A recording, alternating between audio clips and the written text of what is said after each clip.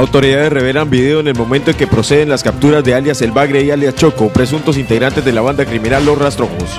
A esta hora se cumple audiencia contra las 18 personas capturadas y que según la policía pertenecen a la banda criminal Los Rastrojos. Alias Boca de Payaso y alias Pirulo, dos temidos sicarios de la banda criminal, capturados en la operación Machín por parte de la policía. El gobernador de Santander anunció recursos por el orden de 7 mil millones de pesos para inversión en el sector cacao cultor. Espacio de Trabajadores de Derechos Humanos denuncian que se ha incrementado el número de amenazas en su contra. Ayer aseguran haber recibido la última de ellas a través de Internet. La Secretaría de Infraestructura habla sobre trabajos en la malla vial de la ciudad. Hoy se comenzaron labores de pavimentación en la carrera 17. Y en los deportes, con inconformismo y muchas dudas, la Liga Santandereana de Béisbol eligieron su nueva junta directiva. El presidente asegura que las cuentas están claras. A las 3 de la tarde viaja la Alianza Petrolera al nido de las Águilas Doradas. Mañana en Ibagué enfrentará el Itagüí por la quinta fecha de la Liga Postobón.